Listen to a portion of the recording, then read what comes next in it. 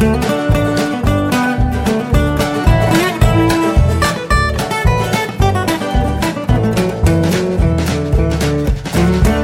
und herzlich willkommen zu Jörn Schars feinen Podcast Episode 288. Ich bin Jörn Schaar und ihr seid es nicht. Mir ist aufgefallen, dass ich euch noch äh, in Anführungszeichen schuldig bin, einen Bericht über mein Gespräch mit dem Abgeordnetenbüro, glaube ich. Zumindest habe ich in den letzten Folgen keine entsprechenden Kapitelmarken gefunden. Ähm, das war kurz vor der Subscribe in Köln, habe ich ähm, in zwei Abgeordnetenbüros angerufen. Äh, also streng genommen war es aber das, also waren es zwei Büros vom gleichen Abgeordneten, nämlich äh, es war so, dass meine äh, SPD-Kandidatin oder Abgeordnete vielmehr, ähm, da wusste ich schon vorher, wie sie abstimmen würde, nämlich gegen die Urheberrechtsreform in der Form, wie sie dann im Text stand. Und äh, die Dame von den liberal-konservativen Reformern, da habe ich ja schon gesagt, da würde ich mich gar nicht mit befassen, weil ich die so kacke finde. Also war es der CDU-Mann, den ich, äh, dessen Büromitarbeiter ich belästigt habe. Im Europa-Büro im, im, äh, in Kiel vom Landesverband ähm, hat die Dame gesagt, ja, nee, das lohnt sich eigentlich gar nicht. Äh, seine Meinung steht fest und wir kriegen da so viele Mails und Anrufe zu. Also äh, lassen Sie das mal besser. Die hat, wollte sich das gar nicht anhören. Und in Brüssel war dann aber ein Mitarbeiter dran, der tatsächlich sehr nett war, der aber auch nur die äh, Argumente der Verlegerlobby ähm, runtergebetet hat. Und ich habe also versucht, äh, deutlich zu machen, was mein Standpunkt und meine Schwierigkeiten damit sind und ähm, habe dann unter anderem auch eben die äh, das Problem mit dem High Alarm Podcast äh, erzählt, dass ich, äh, dass ja ein möglicher äh, Upload-Filter überhaupt gar nicht wissen kann, ob ich jetzt für das urheberrechtlich geschützte Material, das ich im Podcast verwende, eine Lizenz habe oder nicht. Was übrigens auch für sämtliche Intro-Musiken gilt. Ähm, und die Antwort darauf war, dass, dass, dass die KI, die künstliche Intelligenz inzwischen so weit sei, das sei kein Problem. Und dann fällt einem dann nichts mehr ein. Also er hat im Wesentlichen auch mehrfach gesagt, dass es also, ähm, dass sie da schon ganz viel Rückmeldung bekommen haben, dass aber ja die, ähm, die Meinung dann feststünde und dass ich da gar nichts mehr dran, dran tun könnte.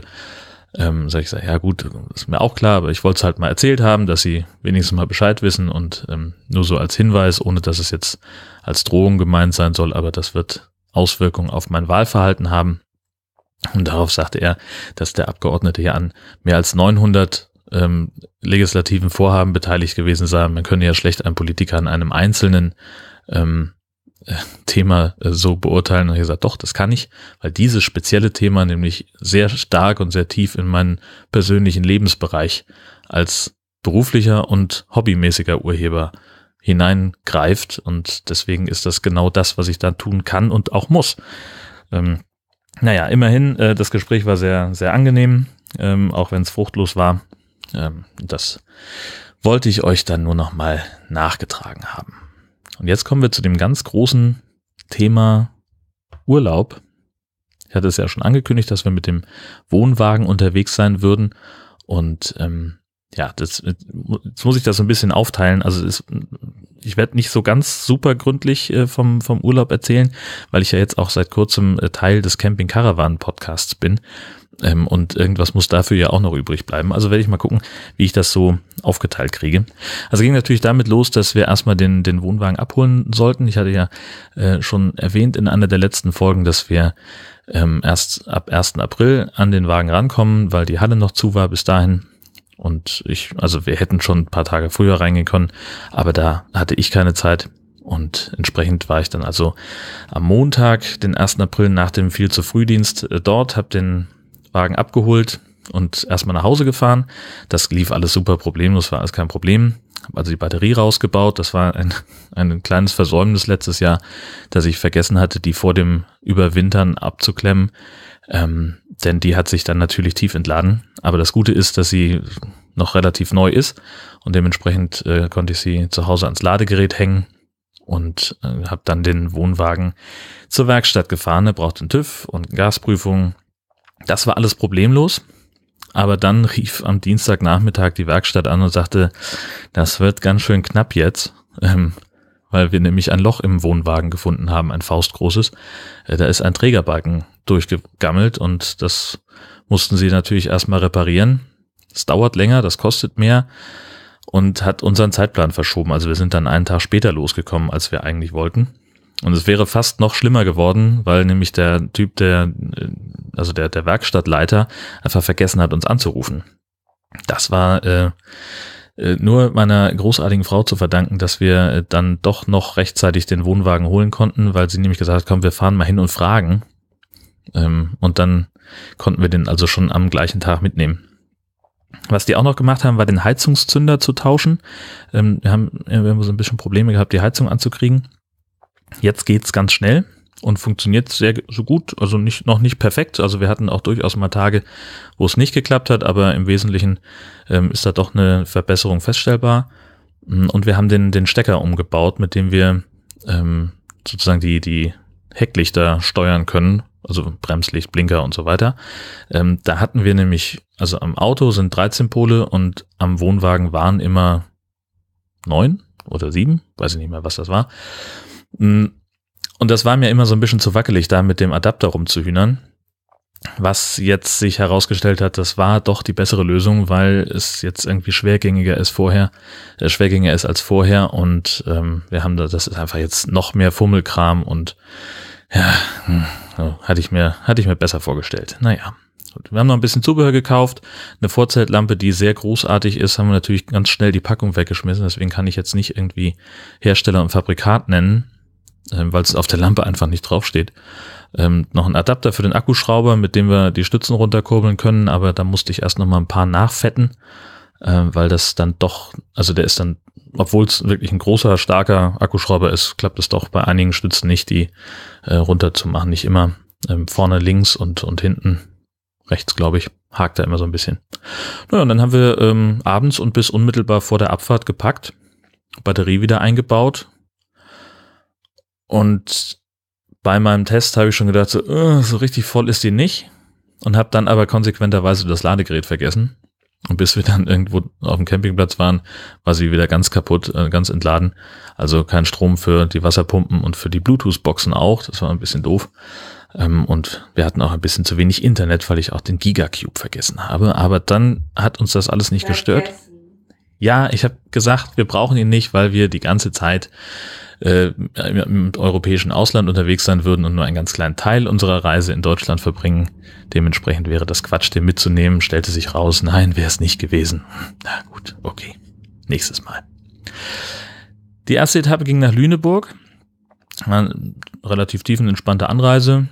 Ähm, und weil wir auch ein bisschen später weggekommen sind äh, als gedacht, sind wir, ähm, wären wir in der Mittagspause des Platzes angekommen. Also haben wir uns direkt in die Stadt begeben, haben einen Parkplatz am Straßenrand gefunden, wo Auto und Wohnwagen reinpassten. Das war ganz praktisch. Und sind dann erst ein bisschen durch die Altstadt von Lüneburg gelaufen. Super schön. Ganz schicke Kirchen haben wir uns angeguckt, sind so etwas mehr als eine Stunde rumgelaufen. Und dann zum Campingplatz Rote Schleuse gefahren ja, die Infos zum Platz hörte dann im Camping Caravan Podcast. Wichtig war, dass wir die, ähm, die Stadt uns angucken. Dann hatte ich ja erzählt, dass unser Austauschschülerin Abby überlegt, ob sie da studieren möchte. Und entsprechend waren dann äh, meine beiden Damen am nächsten Morgen auch erst noch mal ein bisschen auf dem Unicampus unterwegs und haben sich da umgeguckt ähm, und schon mal so ein paar ähm, erste Eindrücke gesammelt, während ich dann mit dem Hund draußen war und schon mal so mit dem Abbau angefangen habe. Dann sind wir gegen Mittag losgefahren ähm, zu unserer zweiten Etappe in der Nähe von, von Lisse, wo der Kölkenhof ist. Das ist so ein großer botanischer Garten mit über sechs Millionen Blumen, hauptsächlich Tulpen natürlich, ähm, in Holland. Und ja, da waren wir mit Staus und Pausen tatsächlich gut 900, nicht 900, neun Stunden unterwegs. Ähm, der Campingplatz hieß Ob Hof van Zeren, also auf dem Hof von Zegen. Ähm, war, ja, war auch alles super. Ähm, da erzähle ich dann auch im Camping Caravan Podcast mehr zu. Der Kökenhof selber, das war der Hammer. Erstmal vom Preis. also wir haben 18 Euro pro Person bezahlt, nochmal 6 Euro fürs Parken. Und ich war nach 15 Minuten in diesem Park Teil von mindestens 21 Instagram Stories, bevor ich die erste Blume überhaupt gesehen habe, äh, weil die Leute schon vorne auf dem auf dem Platz äh, angefangen haben zu filmen und und wir saßen erst noch im Restaurant und haben noch ein bisschen gefrühstückt. Das war äh, hm, ja, beeindruckend. Ähm, die Blumenarrangements waren einfach wirklich, also waren wirklich toll. Ganz großartige Beete, die sie da angelegt haben. Ähm, mal nur eine Sorte Blumen, mal mehrere gemischt und wirklich ganz, ganz klasse. Und was ich mochte, ist, dass sie an ganz vielen Stellen richtige Selfie-Spots eingerichtet haben, dass sie also wirklich sagen konnten, äh, wenn du, du hast halt richtig gesehen, es gab so, so Punkte, wo sich Leute in Schlangen, in, in Warteschlangen äh, aufgereiht haben, damit sie da eben das perfekte Blumen-Selfie von sich selber machen können.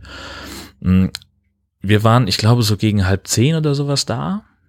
Ab elf wurde es dann spürbar voller und wir waren so um, weiß ich nicht, halb eins, eins ungefähr durch mit dem Ganzen. Und da hast du richtig, also da wurde es dann auch, ja, da wollten wir dann auch alle raus, hatten ja auch schon fast alles gesehen. Ähm, und wir sind auf den Parkplatz gegangen, der vorher noch relativ leer war. Der war wirklich voll. Da standen also ich hunderte Busse und tausende Autos äh, und auch auf der Fahrt zum Platz, die ungefähr so eine Viertelstunde dauern sollte. Da haben wir also an, an fast jeder Straßenecke noch, noch Ordner gesehen von diesem Kökenhof, die also den, den Verkehr da so ein bisschen geregelt haben mit den Anreisenden, ähm, die aus allen Richtungen geströmt kamen. Genau, wir haben noch ein bisschen was eingekauft ähm, bei Albert Heijn, so eine holländische Supermarktkette, und haben dann unsere Mittagspause auf dem Platz verbracht, weil halt von 13 Uhr da Ruhezeit war und wir hatten vorher schon geklärt, dass wir gegen 15 Uhr auschecken könnten, was eigentlich später ist, als die gerne hätten, aber es war offenbar äh, überhaupt kein Problem, dass wir ein bisschen länger da bleiben können. Äh, dann hatten wir uns relativ kurzfristig äh, für, bei der nächsten Etappe für Gent als, als äh, ja, Basislager entschieden. Das ist eine, eine Stadt, äh, die größer ist, als ich dachte. 260.000 Einwohner ungefähr, fast in der Mitte zwischen Brüssel und Brügge, die wir uns beide angucken wollten. Und haben da also äh, gesagt, dann bleiben wir drei Nächte dort und können dann so Tagesausflüge nach ähm, Brüssel und Brügge machen. Gent selber ist echt wahnsinnig schön. Das war, also das war wirklich eine, eine Überraschung auf dieser Reise und, und sehr, sehr ähm, beeindruckend, weil wir einfach nicht mitgerechnet haben. Hatten wir einfach komplett nicht auf dem Zettel, dass es die Stadt überhaupt gibt ähm, und stellt sich raus, äh, ist echt hübsch, eine tolle Altstadt, richtig viel Leben, ähm, was wir, was wir da gesehen haben. Äh, wir waren abends ähm, in einem veganen Restaurant, dem Greenway, ähm, haben da vegane Burger gegessen, die richtig lecker waren und sind dann noch so ein bisschen durch die Altstadt gebummelt und haben dann noch, ähm, ja, weiß ich nicht, was ist denn das da? So ein Fluss wahrscheinlich, der da durchläuft. Ähm, haben wir noch in einem Restaurant gesessen und da noch ein bisschen was getrunken. Nächsten Tag dann erstmal nach Brügge. Ähm, ja, kennt ja den Film Brügge sehen und sterben. Äh, und ich habe das Gefühl, dass Brügge schon tot ist. Ähm, Brügge hat sich selbst zu oft gesehen und ist jetzt gestorben. Nein, es ist einfach, es ist eine, eine ganz tolle Stadt, sehr, sehr hübsch, aber halt einfach unfassbar voll mit Menschen. Und ganz im Unterschied zu Gent nimmst du da halt kein, kein städtisches Leben mehr wahr. So, da ist halt, sind halt die Leute, die da arbeiten oder die aus irgendwelchen Gründen da durchfahren müssen. Und die sind halt einfach mördergenervt gefühlt von diesen ganzen Tourimassen, die da durchströmen und äh, ja, Gott, also wie gesagt, hübsch, aber ich muss da nicht nochmal hin.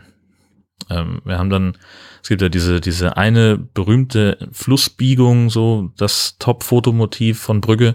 Da haben wir ähm, eine, ja, so, so ein Restaurant gefunden, Casa Patata, ähm, so eine Fritür, wo man sehr viel Frittiertes bekommt. Und wir haben also uns lecker Pommes geholt und haben dann noch ähm, da an dieser Flussbiegung paar Meter weiter gesessen, haben unsere Pommes aufgefuttert und haben uns äh, das Schauspiel da angeguckt und sind dann noch so in einem großen Bogen zurück zum Auto äh, an einem ganz großartigen kleinen Schokoladen vorbeigegangen, wo Abby ein paar Pralinen kaufen wollte mit rein und es roch unfassbar gut. Also war so eine richtige Schokomanufaktur, wo die selber da in dem Laden die Pralinen gemacht haben. Also ein wahnsinniger Duft ähm, und alles relativ alt. Auch die Kasse, so, so ein alter mechanischer Kassenapparat und die Typen, die da gearbeitet haben, die hatten dann so also hast halt gesehen, es ist, äh, es ist halt auch wieder nicht authentisch. Ja? Also die hatten halt so eine Arbeitsuniform an, die eben dann auch auf alt getrimmt war. Und ja, also auch wieder so ein, so ein Touri-Laden, aber äh, gute Produkte und, und sehr, sehr lecker alles. Ähm, Das Einzige, was wir nicht gefunden haben in der ganzen Geschichte, war der, einer der kostenlosen Parkplätze. Da gibt's eine ganze Menge von in Brügge, ähm, die dann auch eine gute ÖPNV-Anbindung haben, aber wir haben gemerkt, dass unser Navi einfach zu alte Daten hat. Ähm, das hat sich einfach sehr viel geändert und wir sind auf dem Weg dahin mehrfach irgendwie komplett falsch abgebogen, weil äh, es dann, da stand dann irgendwie auf dem Navi hier, da ist eine Kreuzung und dann war es ein Kreisverkehr und dieser Teil der Straße, der existiert im Navi überhaupt gar nicht. Du fährst dann irgendwie so zwei Kilometer vor dem Ziel erstmal anderthalb Kilometer und das Navi sagt ja, du bist irgendwie Offroad. Äh, das ist sehr ungünstig. Ähm, wir hätten da einfach auf Google umschalten sollen. Aber andererseits ähm, haben wir jetzt dann einen innenstadtnahen Parkplatz gefunden, der auch einigermaßen okay war vom Preis. neun Euro für vier Stunden. Hm. Ich glaube, besser geht's nicht. Ja, und mit Heuschnupfen ein bisschen zu tun in letzter Zeit.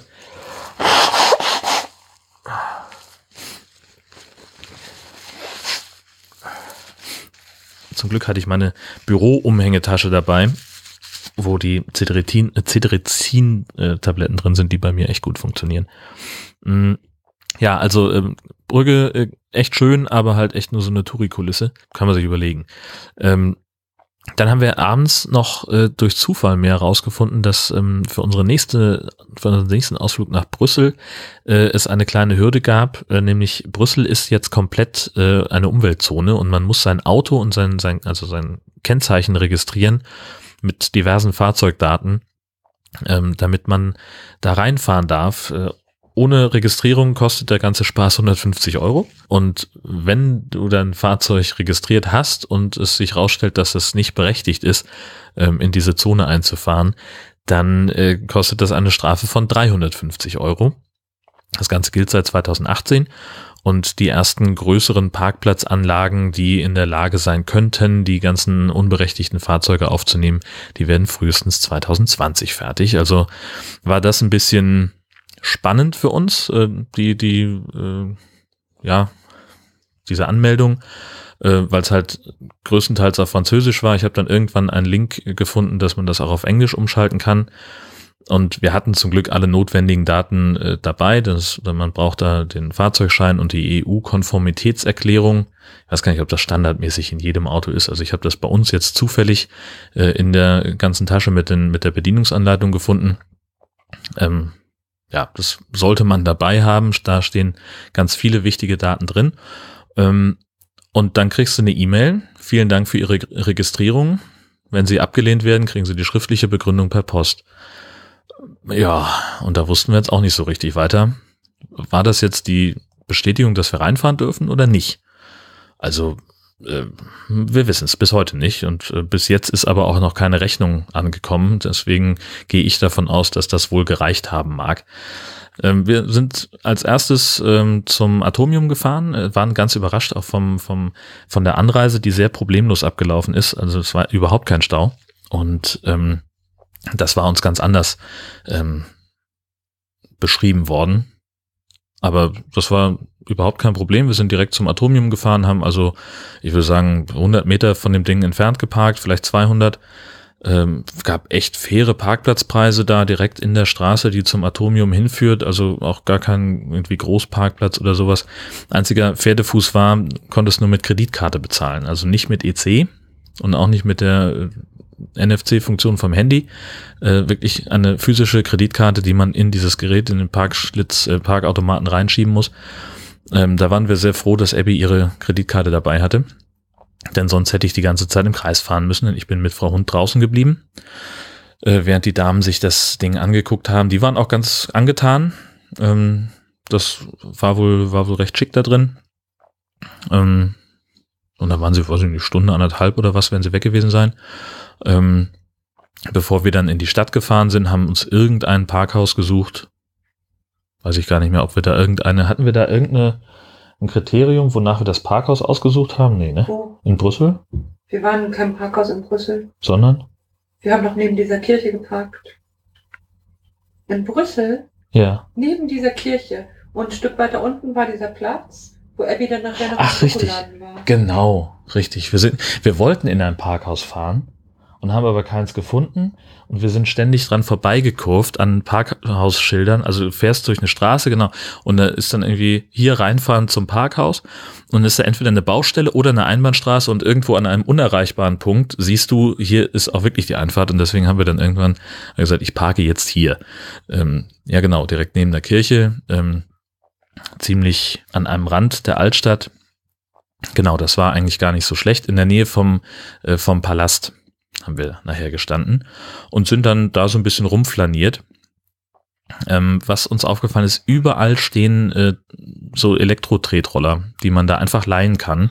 Äh, gibt irgendwie drei verschiedene Anbieter, ähm, bei denen man sich per App registrieren kann und dann funktioniert das so ähnlich wie Car2Go oder diverse ähm, Fahrradleihdienste.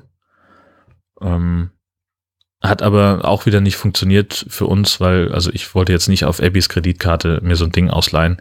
Äh, vielleicht sollte ich mir einfach mal eine Kreditkarte anschaffen, dann hätte ich das auch machen können. Aber andererseits, ja Gott, äh, hätte es ja jetzt auch wenig Sinn ergeben, für mich einen E-Roller zu mieten und die anderen beiden wären dann zu Fuß unterwegs gewesen mit dem Hund. Also völliger Unsinn. Aber die sind wirklich, äh, die Dinger sind wirklich buchstäblich überall. Also nicht nur an der, an jeder Straßenecke, sondern auch auf den Bürgersteigen dazwischen. Ähm, mal mehr, mal weniger schlau abgestellt. Also kannst haben, dass wirklich quer auf dem Bürgersteig einfach so ein Elektroroller rumsteht, so ein Scooter rumsteht. Nee, Scooter ist das falsche Wort. So ein Tretroller halt. Ähm, und die stehen manchmal eben an der Hauswand oder an einer, an einer Ampel, sind auch nicht abgeschlossen, weil du, man kann die sowieso nur mit der App starten. Ähm, aber das finde ich, fand ich total spannend. Ja, Im Laufe des Tages sind wir, ähm, ja, wo waren wir überall?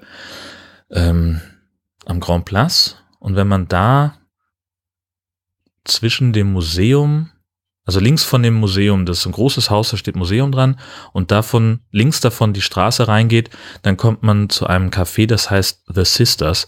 Ähm, und das ist eben auch äh, vegan-friendly, also die haben nicht ausschließlich veganes Essen, aber ähm, eben äh, kriegst auch ganz viele vegane Sachen, unter anderem auch vegane Waffeln, äh, etwas, das wir sonst nirgends gefunden haben, in ganz Belgien nicht.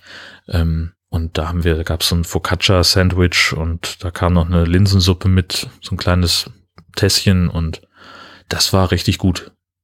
Ja, kann man gut haben. Mhm. Abends sind wir nochmal nach Gent, weil ich äh, noch tierisch Bock hatte auf Pommes. Und ich hatte bei unserem ersten Besuch dort äh, so eine Fritür gesehen, wo ich eigentlich schon gleich am ersten Abend gerne reingewollt hätte, aber da hatten wir ja nun gerade erst die Burger gegessen und wir waren alle pappsatt. Also ähm, wollte ich da gerne nochmal hin.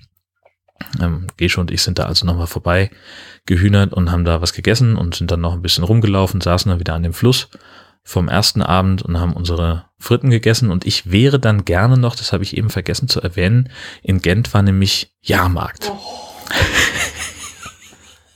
Beste Geschichte. ich habe am ersten Abend, als wir da vorbeigefahren ja, sind, schon gesagt, ich möchte gerne zu diesem Jahrmarkt. Und da hat irgendwie alles nicht so richtig, also da, an dem Abend wollten sie das nicht mehr. Gehst du, Schatz? ja. kann ich so gute. Nee, kannst du nicht. Geht nicht. Nee, geht nicht. Ich kann nicht mal mehr Furzgeräusche. Also pass auf, ging so. Langweilig. Wir waren also in Gent nee, und sind da ein bisschen rumgefahren, bis wir. Hören. Doch, das ist die beste Geschichte vom ganzen Urlaub. Also, wir sind da so ein bisschen rumgefahren, bis wir einen Parkplatz gefunden haben und kamen eben an, auch an diesem Jahrmarkt vorbei. Und später, als wir rausgefahren sind, eben nochmal. Und ich hatte schon vorher gesagt, ich möchte gerne noch, wenn wir sowieso hier sind äh, und wir ohnehin am Jahrmarkt vorbeifahren, äh, weil es die Straßenführung halt einfach so vorgibt, ähm, dann möchte ich gerne da nochmal hin. Und äh, da war so eine, an der Straße direkt stand so eine Achterbahn, so eine wilde Maus. Und da wollte ich gerne mitfahren. Und äh, die Herzdame sagte, nein, das ist viel zu spät, ich habe keinen Bock mehr, äh, doofe Achterbahn. Äh, und dann habe ich ja gesagt, ja, aber ich möchte ja so gerne. Und dann irgendwann nach so ein bisschen Diskussion ging das hin und her, sagte sie, so zweieinhalb Meter vor dem Jahrmarkt, okay, wenn du jetzt hier um Viertel vor elf äh, direkt vor dem, äh, also abends, ne, direkt vor dem Jahrmarkt äh, einen Parkplatz findest, dann gehen wir dahin. Dann sind wir noch 20 Meter gefahren und da war ein Parkplatz. Und es war natürlich klar, dass es da noch Parkplätze geben würde, weil es halt echt mitten in der Nacht war. Naja, und dann ähm, sind wir tatsächlich noch auf den Jahrmarkt gegangen und äh, es gab da so ein irgendein Fahrgeschäft mit so einem, was weiß ich, so einem Pendel, wo man so drin saß und dann wurde man da hochgependelt und dann drehte sich das noch und hin und her. Dafür war ich zu fett, hatte den Sicherheitsbügel nicht zubekommen und da durfte ich nicht mitfahren und sie saß dann ganz alleine da drin und danach sind wir eben auch noch mit der mit der Achterbahn gefahren, auf die ich mich so gefreut hatte und das war ja wie gesagt die beste Story des ganzen Urlaubs, ähm, weil sie schon gleich in dem Moment, als ich einparkte, gesagt habe, dass ich das wahrscheinlich ungefähr in acht Podcasts erzählen würde und immer und immer wieder hochbringen. Ach, wunderbar. Ja, das war auch gleich unser letzter Abend in Gent. Mm, wir haben dann am nächsten Morgen uns relativ früh auf den Weg gemacht. Ähm, also ich hatte dann noch irgendwie Brötchen geholt am Platz. Nee, gar nicht. Wir haben sogar, wir haben erst abgebaut und sind dann los und haben nach dem Auschecken ist gleich vorne an der Rezeption ist so ein, so ein kleiner Laden und da kann man eben Brötchen kaufen wir hatten ein bisschen ähm, Käse und Gedöns aus dem Wohnwagen mit ins Auto genommen und haben dann eben einfach nur trockene Brötchen gekauft. Die letzten, die es noch gab, da hätten wir auch vorbestellen müssen wohl. Also die hatten ein paar so einfach da, ähm, aber man konnte eben auch gut vorbestellen. Naja, das haben wir nicht gemacht, äh, sondern einfach die letzten aufgekauft, die sie noch hatten und hatten eben dann uns im Auto äh, Frühstücksbrote gemacht auf dem Weg dann nach Straßburg. Die zweite große und lange Etappe, die wir, die wir hatten. Wir haben äh, an dem Tag tatsächlich in, in äh, vier Ländern dreimal im Stau gestanden. Erst, äh, weil wir, genau, Gent ist nördlich von Brüssel. Wir mussten also an Brüssel vorbei. Das hat uns anderthalb Stunden gekostet. Ähm, haben dann nochmal in Luxemburg im Stau gestanden und dann schließlich noch einmal kurz in Frankreich. Und gut, dann in, in der Nähe von Straßburg sind wir dann über die Grenze und sind dann in Kehl auf den Campingplatz gefahren.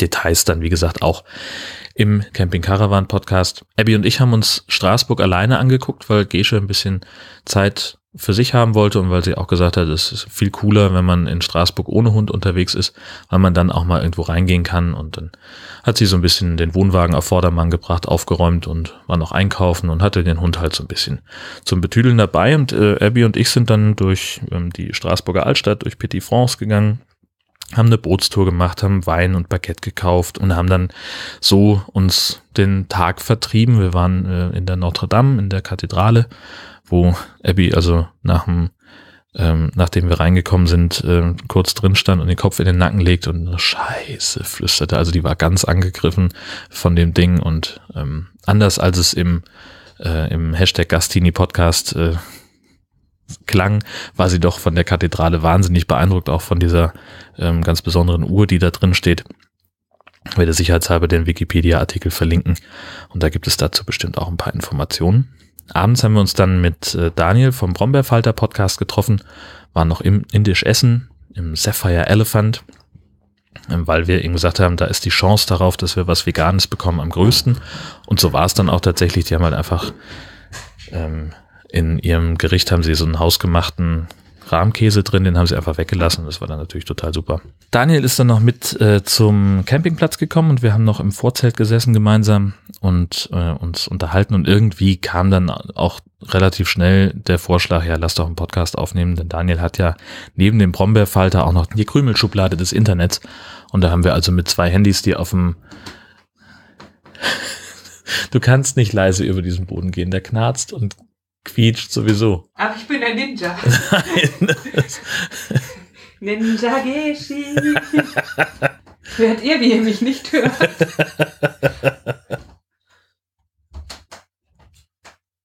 Ninja Geshi. Nein, kein Stück.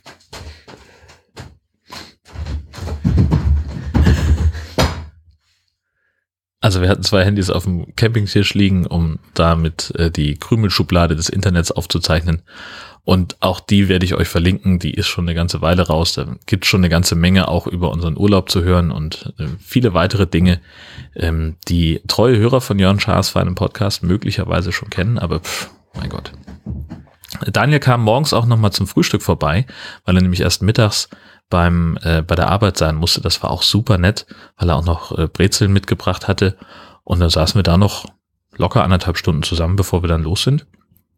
Und äh, da gab es dann das erste Mal äh, größere Probleme mit dem umgebauten Stecker, äh, weil nämlich einfach partout das Bremslicht nicht leuchten wollte. Und äh, das hatten wir schon mal vorher gehabt und das ging dann aber dann mit mehrmals ab und wieder anstecken. Und irgendwie, diesmal wollte er so gar nicht.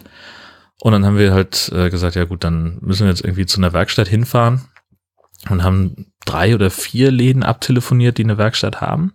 Die alle gesagt haben, nee, geht nicht, wir sind voll bis Oberkante Unterlippe. Nur Camping Meier ähm, in, wie hieß denn jetzt wieder der Ort? Biel, kann das sein? Ach, ich weiß es nicht, verlinke ich. Ähm, Camping Meier hat gesagt, ja gut, eigentlich haben wir keine Zeit, aber das kann ja nichts Großes sein, kommen Sie mal vorbei. Und die haben dann tatsächlich geguckt und geprüft und gemacht und es ist alles in Ordnung, es leuchtete auch.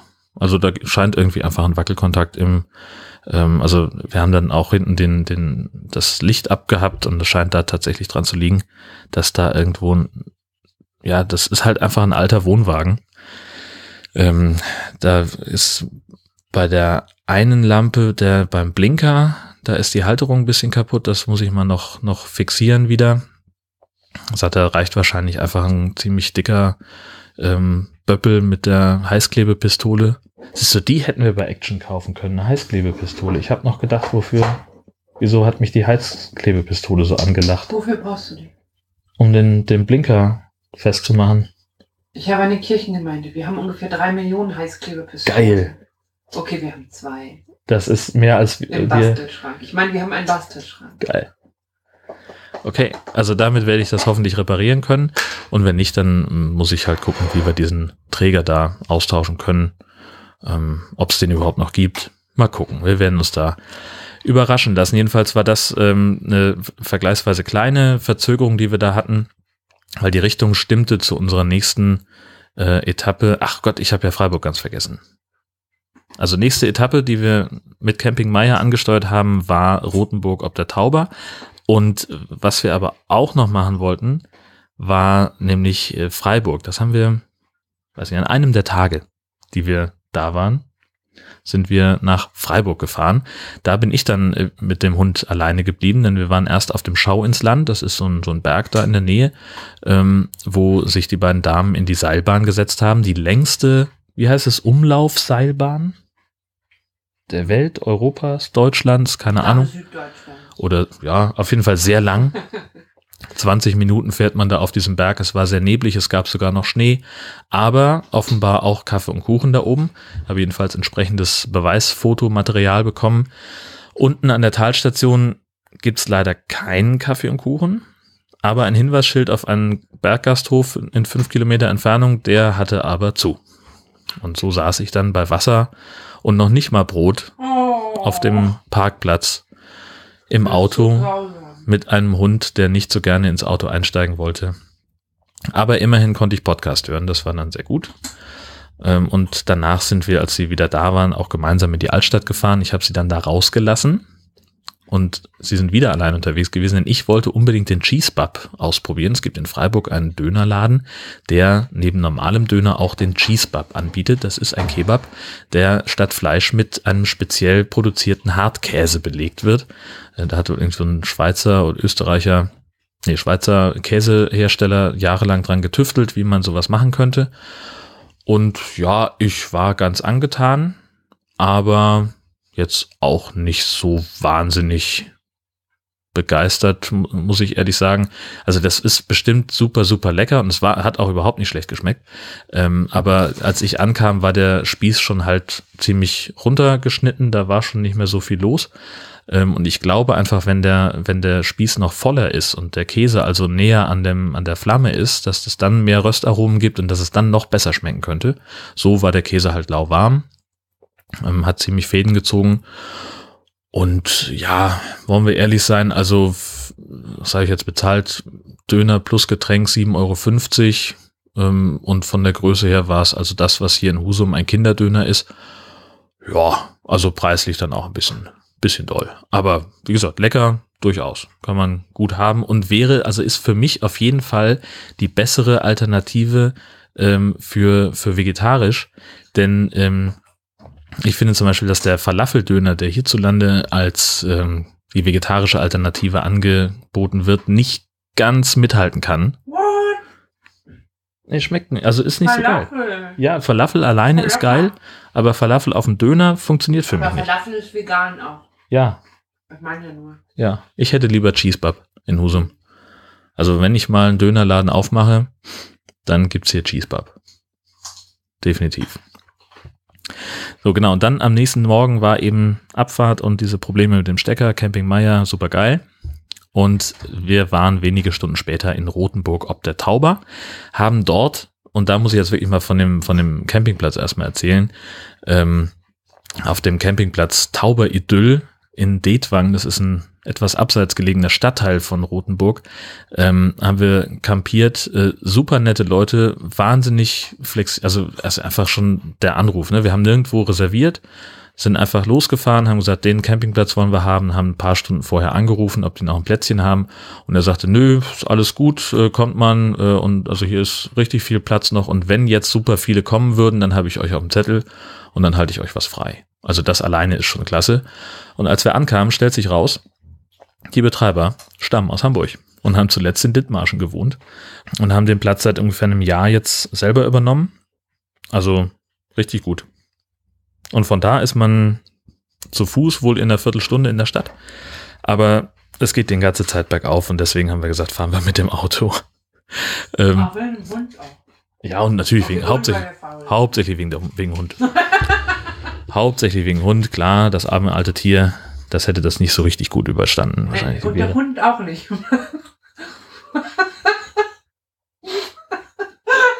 Also da wirst du in deinem eigenen Podcast-Studio, wirst du mit Eiseskälte so weggemobbt. Ich habe was im Rücken. Dein Messer? Ja? Steilvorlage, sorry. Ja, Steilvorlage dich selbst. Die Rotenburger Altstadt ist ein Kleinod mittelalterlicher Baukunst und äh, noch von einem äh, sehr gut erhaltenen Stadtmauer-Dings äh, umschlossen. Also ich glaube, sie haben die. Es ist eine Stadtmauer. Ich fragte mich nur, ob Stadtmauer-Dings das Fachwort ist. Das ist das Fachwort. Okay. Weil es nämlich nicht die Originalstadtmauer ist, sondern weil sie die zu großen Teilen wieder rekonstruiert haben. Deswegen ist es nur ein Stadtmauer-Dings.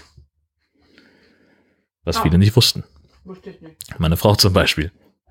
Ähm, was mich an Rothenburg ob der Tauber wahnsinnig irritiert hat, möchte ich fast sagen, das war, ich, ja doch, es war sehr verdächtig. Die Leute sind da einfach super nett.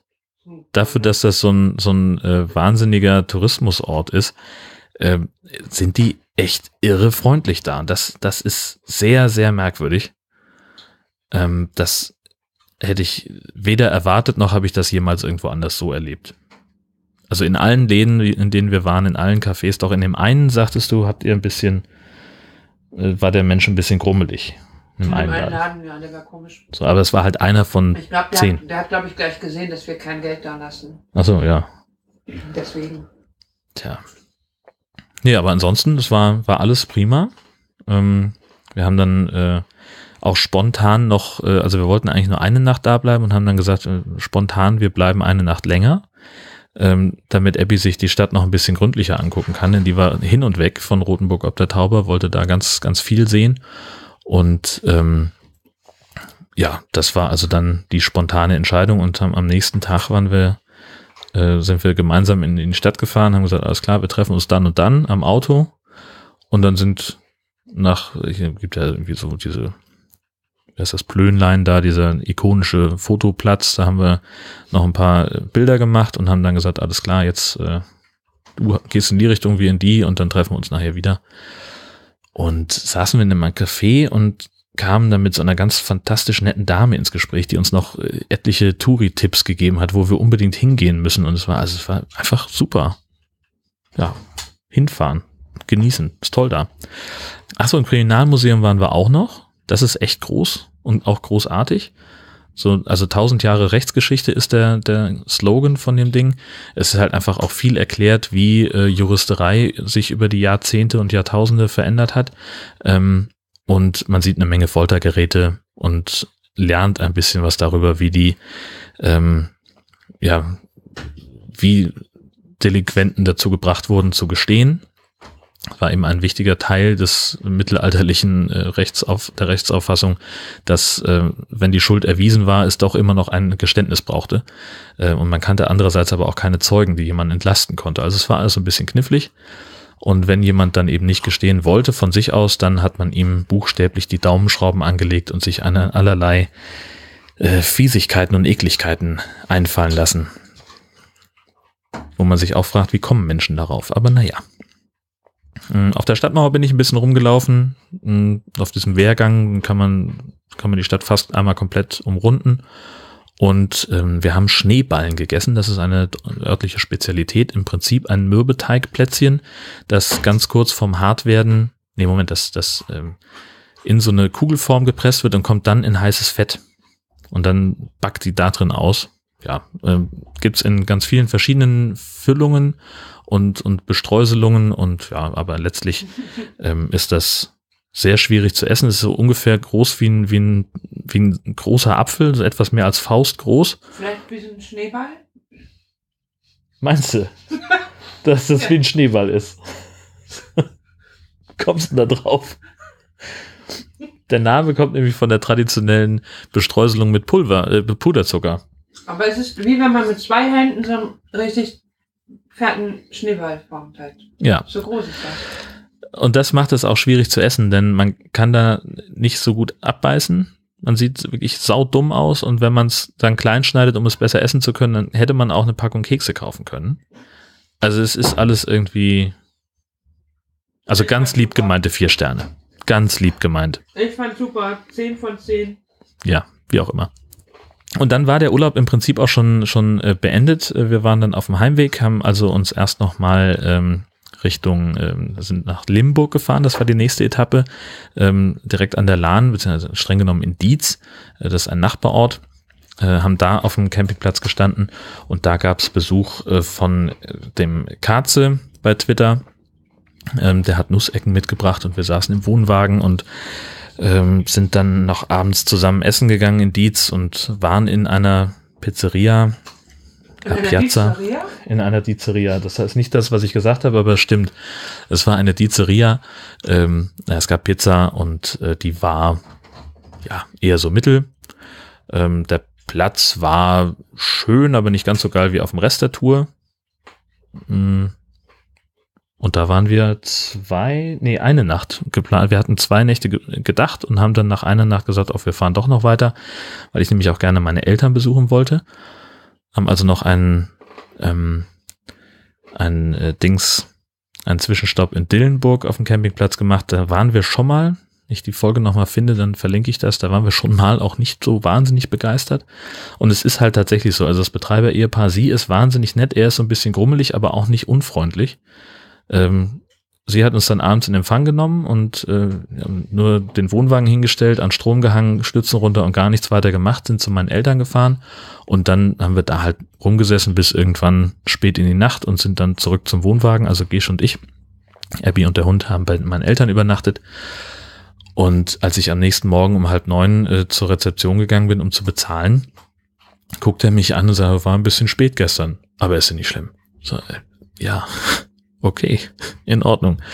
Wir waren dann bei, mein bei meinen Eltern noch zum Frühstück und haben uns entschieden, dass wir dann irgendwann gegen, was weiß ich, späten Vormittag sind wir losgefahren und haben eigentlich gesagt, wir wollen dann nochmal irgendwo zwischenstoppen, ungefähr auf der Hälfte der Strecke, äh, weil es dann sonst halt 600 Kilometer gewesen wären. Das wäre die längste Etappe gewesen auf der Strecke und das musste einfach nicht sein.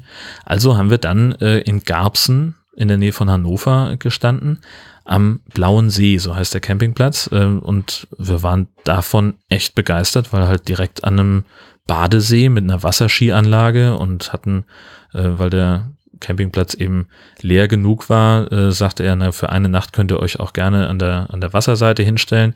Die Stellplätze dort sind eigentlich ein bisschen teurer, aber hat er uns so gegeben. Und so hatten wir dann unseren eigenen Strandzugang. Und das fand ich, äh, fand ich richtig gut. Ähm, haben auch gar nicht mehr viel gemacht, außer rumchillen und schlafen. Haben abends noch äh, eine Podcast-Folge aufgenommen für Hashtag Gastini. Und das war's dann im Wesentlichen. Nächsten Tag zurück nach Hause. Waren ziemlich genau zwei Wochen unterwegs und haben knapp 3400 Kilometer gemacht, ohne nennenswerte Pannen. Es ist keiner krank geworden, es ist nichts kaputt gegangen, das Auto hat gut mitgemacht. Also das ist doch, muss ich sagen, für mich sehr nah an dem, was ich einen perfekten Urlaub nennen würde. Das war einfach super. Alles top geklappt. Auch zu dritt im Wohnwagen ging fürs erste Mal fand ich überraschend gut. Ich hätte damit mehr Reibereien gerechnet. Ja, klasse. Gründonnerstag haben wir so ein bisschen, also habe ich ein bisschen aufgeräumt und ähm, meine Frau hat gearbeitet. Und am Karfreitag habe ich mich dann wieder ins Auto gesetzt und bin ähm, Richtung Römm gefahren. Und deine Frau hat gearbeitet. Und meine Frau hat gearbeitet. Ähm, Das ist nämlich so eine, so eine Geschichte mit den äh, Twitterern, äh, die ich noch aus Kieler Zeiten kenne, ähm, sind wir eigentlich traditionell seit Jahren an Karfreitag immer an einem dänischen Hotdog-Stand. In der Regel ähm, bei Anis Kiosk in der Nähe von Flensburg. Äh, und weil jetzt eben drei Leute sowieso gerade mit ihrem Camper auf Römm standen, haben sie gesagt, Mensch, dann kommt doch mal wieder zu uns. Und dann sind wir also nach Haunebü gefahren und haben da am, am Hafenkiosk, äh, der auch wirklich bekannt ist, äh, haben wir sehr lecker gesessen, haben Hotdogs gegessen. Und ähm, das Einzige, was da so ein bisschen verstörend war, war die Musik. Äh, die haben nämlich offenbar nur eine CD, wo äh, so in Alleinunterhalterqualität Menschen Elvis-Songs covern. Also ich hatte noch jemanden mitgenommen, den Rüdiger aus Milstedt. Und wir waren die Ersten, die da waren. Und allein in der Zeit, die wir da verbracht haben, um auf die anderen zu warten, lief diese CD zweimal durch. Und es war, also es war wirklich nicht schön. Es war einfach nicht schön. Aber gut, es ist, es ist, wie es ist. Irgendwann fällt es einem auch nicht mehr auf. Ähm, der K-Samstag war tatsächlich ähm, dann auch nochmal so ein, so ein Tag, äh, der mich sehr doll an unseren Urlaub erinnert hat, weil es einfach nur schöne Sachen gab. Wir haben Nagishi. Und deine Frau hat gearbeitet. Und meine Frau hat gearbeitet, genau. ähm, wir haben äh, sehr ausladend, aber noch gefrühstückt immerhin. Ähm, haben dabei The OA geguckt zum Frühstück. Das ist gerade die aktuelle Netflix-Serie, äh, mit, an der wir gucken. Ähm, nach der, weiß ich, zwei oder drei Folgen haben wir dann gesehen zum Frühstücken und ähm, sind dann mit dem Fahrrad aufgebrochen in die Stadt mussten noch ein bisschen was einkaufen und äh, Ostergeschenke für Abby vorbereiten. Fällt mir ein, die müssen wir noch fertig Die machen. kommt heute Nacht essen. Ach, wenn sie heute Nacht erst nach Hause kommt, dann drängt das noch nicht so. Ähm, haben dann noch äh, was gegessen und Hundefutter gekauft, nach Hause gefahren, noch eine Folge geguckt, Siesta gemacht und äh, kurz bevor meine Frau dann richtig doll angefangen hat zu arbeiten, habe ich dann endlich mal angefangen, am Wohnwagen ein bisschen rumzuschrauben, habe also die Batterie wieder ausgebaut und in den Keller gebracht, ans Ladegerät gehangen und habe endlich mal die Fensteraussteller repariert. Ähm, da hatte ich ja schon seit einiger Zeit eben die Beobachtung gemacht, dass die jetzt reihum kaputt gehen.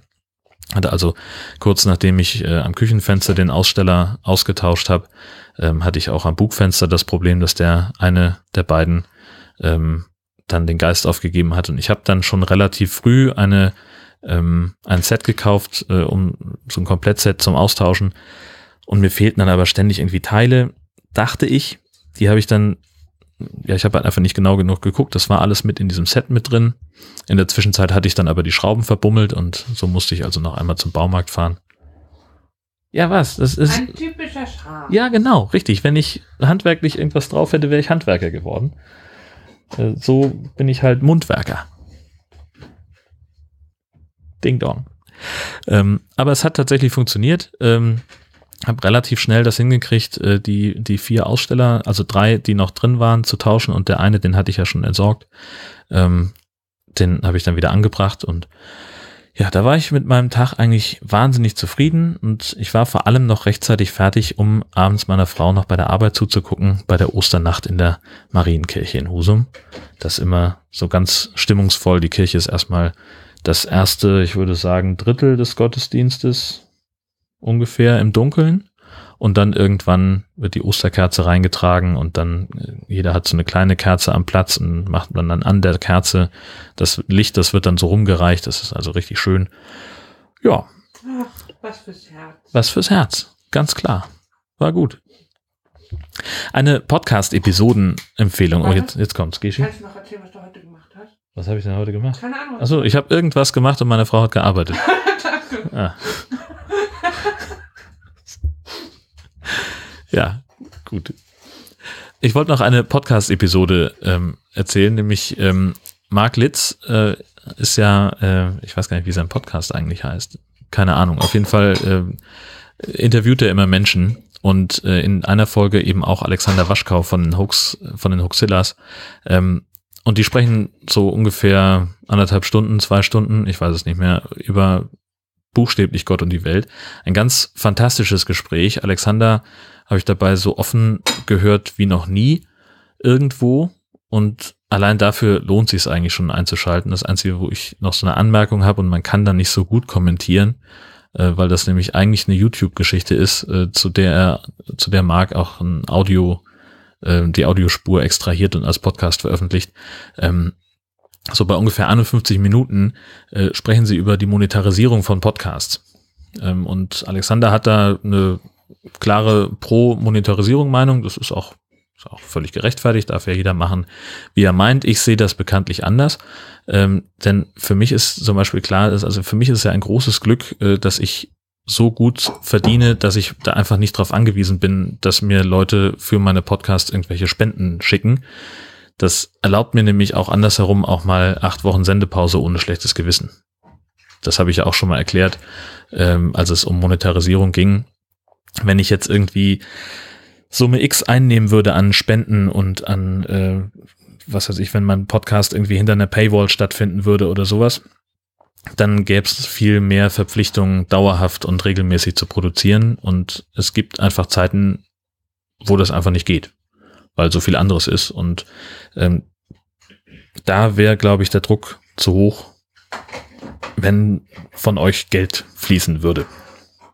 Ja, und so bin ich einfach froh, dass es ähm, für mich so funktioniert, dass ihr mich nur mit eurer Lebenszeit bezahlt. Was viel Wertvolleres gibt's ja eigentlich auch nicht. Und das ist es dann auch für heute. Aber sie schicken auch Geschenke. Ja, sie schicken auch Geschenke, richtig, aber ja, das ist Liebe. alles ganz fantastisch, aber Wir eben. schicken viel Liebe. Ja, und aber von ja, ja, danke, dass du mir das jetzt so ein bisschen argumentativ kaputt gemacht hast. Nee, das widerspricht ja gar nicht. Weil sie Liebe schicken. Ich wollte auch nur noch sagen, vielen Dank fürs Zuhören. Damit äh, endet diese Folge, die doch von mehr Unterbrechung gekennzeichnet war, als ich je erwarten konnte. Kann ich noch eine Sache sagen? Natürlich, mein Schatz. Hashtag Team Rützel. That's all. Ja. Ja. Wenn sie ihren eigenen Podcast hätte, könnte sie es da drin erklären. So verweise ich auf die Show Notes und werde nicht viel mehr dazu sagen, als äh, da einen Link äh, zu platzieren. Ja, viel, äh, vielen Dank fürs Zuhören. Wie gesagt, äh, ich bin der Meinung, dass Horst Seehofer als Bundesinnenminister zurücktreten sollte und ich wünsche euch eine fantastische Woche. Bis bald. Thank you.